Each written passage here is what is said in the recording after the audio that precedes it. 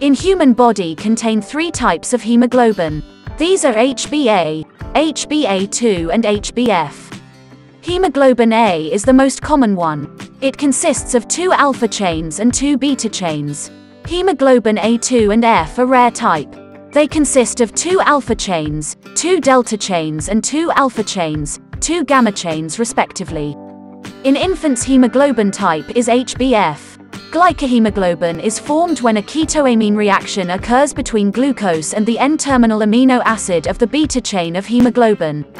The amount of glycohemoglobin generated is proportional to the mean blood glucose during the 8 to 10 weeks before the test. Therefore, the glycohemoglobin level is a useful indicator of long-term blood glucose control. American Diabetes Association now officially recommends HbA1c testing for the diagnosis and monitoring of diabetes. High performance liquid chromatography, or HPLC, is the gold standard method for hemoglobin A1c testing. High performance liquid chromatography is an analytical chemistry technique to separate, identify, and quantify each component in a mixture. Advantages of HPLC method in HbA1c testing. It is gold standard method. It has good precision, can detect more parameters, don't need to pre-process like centrifugation, can detect most common HB variants in blood sample, common reagents and consumable of HPLC analyzer. Hemolysis solution used for pre-process of blood sample before the HbA1c analysis.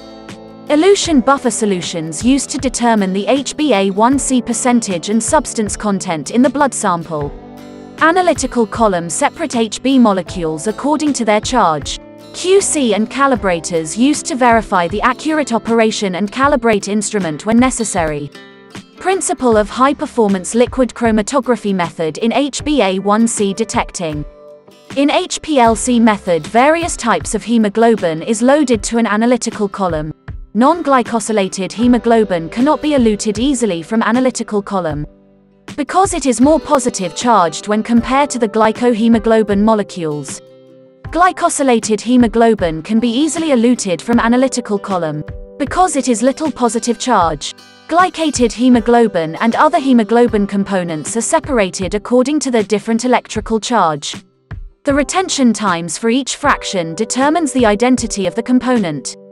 In chromatography, retention time is the interval between the injection of a sample and the detection of substances in that sample. It's the time required for the solute to pass through a chromatographic column. If you are interested in my video creation, like this video, feel free to give your comment. Please subscribe us on YouTube.